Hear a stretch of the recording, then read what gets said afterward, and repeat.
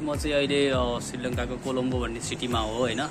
अनि मैले एउटा नोटिस गरेको बिल्डिङमा बसिरहेको थिएँ अनि यसो नोटिस गरेको कुरा चाहिँ त्यही सेयर गर्न लगाएको हो होइन?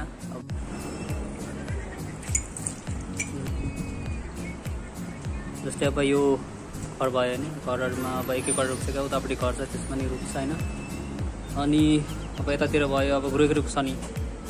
अनि अरू बिरुवा कतै रुख छ क्या? पनि काठमाडौँमा चाहिँ के गर्छ भन्दाखेरि अब भएको रुख पनि काटिदिने अनि त्यसपछि के अरे घर बनाइदिने तर रुख नरोप्ने गर्छन् क्या होइन? यस्तो चाहिँ गर्नु भएन गाइस होइन? यो चाहिँ कोलम्बोकै अर्कै ठाउँ हो होइन? अनि यता पनि अब हेरौँ न हरेक बिल्डिङहरूमा घरहरूमा चाहिँ त्यस्तो छ क्या अब त्यो त्यो रुख रुख भएको कारणले चाहिँ अब यता छत छतमा यो मयुर हो क्या? अब मयुर चाहिँ यताउता डुलिदिन्छ क्या यतातिर ठाउँ ठाउँ हेरी अब यतातिर चाहिँ हरेक बिल्डिङहरूमा चाहिँ होइन? उयो छ क्या हरेक बिल्डिङहरूमा अथवा जस घरहरू छ भने घरहरू बनाइरहेको छ भने तिनीहरूले चाहिँ रुखहरू चाहिँ रोपेकै हुन्छ क्या। अब यो घरमा तिन चारवटा रुख छ कुनै कुनैमा तिन चारवटा रुख छ कुनै एउटा एउटामा रुख छ छै क्या।